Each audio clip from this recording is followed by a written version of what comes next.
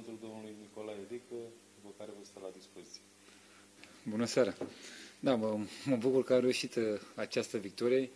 Uh, chiar dacă a venit pe, pe final, este foarte importantă pentru noi. Trebuie să ne dea încredere pentru ceea ce uh, urmează în campionat.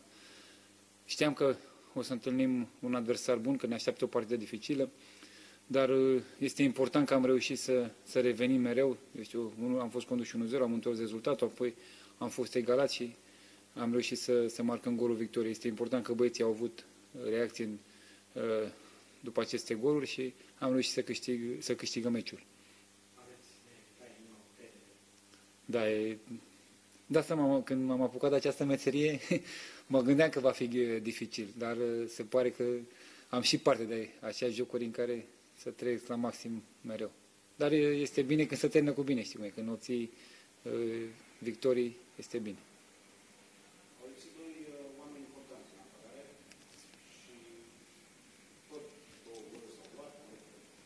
Da.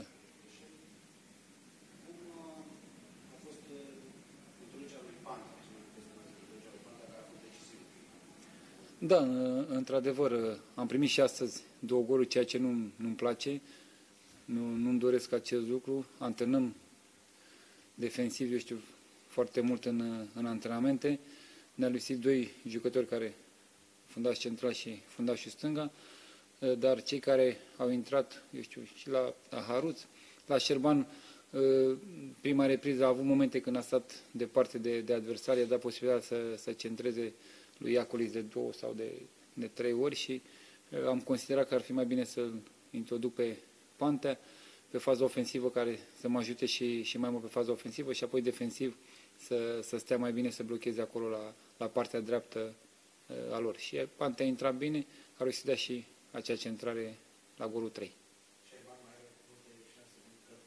Va avea, da, fiecare jucător care este în, în lot în acest moment va avea șanse să joace, pentru că știți foarte bine, suntem și în Europa, vine și Cupa României, campionatul, deci suntem pe, pe trei fronturi. Dar important este ca jucătorii să fie pregătiți în momentul când uh, introduc în teren, să fie pregătiți. Că joacă, eu știu, de la început, că intră pe parcurs, important este să fie pregătiți. Da, mie îmi place, știți foarte bine că îmi place ca fundaș și lateral să fie foarte ofensiv, să uh, dea multe centrări și uh, mă bucur că astăzi, eu știu, Crețu a scos 11 metri, Pante a dat acea centrare. Da, uh, au fost, da, au fost ok în, în prima repriză, păcat că Omrani nu a reușit să, să marcheze din acea ocazie uh, imensă. Știam că el nu va putea să ducă, eu știu, 90 de minute, chiar și 60 de minute, chiar dacă are un joc la, la Liga 3 în urmă cu, cu o săptămână, dar uh, speram 45 de minute, cum a și făcut-o, a încercat să, să dea totul pentru, pentru echipă, dar trebuie să uh, avem răbdare cu el, pentru că cu cât va, eu știu, se va, se va pregăti zi de zi cu, cu noi și va, va juca, va crește în, în evoluție. Da. Da, cum am spus, după ce ne-am calificat în, în grupe, că obiectivul principal acum rămâne campionatul, cu siguranță la meciul din Europa voi schimba câțiva jucători. Nu, n-am apucat să vorbesc după, după joc cu el, la pauză.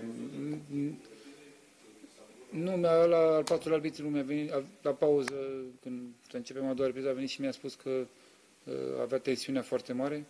Nu știu, acum este, este ok. Da? Ah, mă bucur dacă a plecat pe picioare și este, este ok.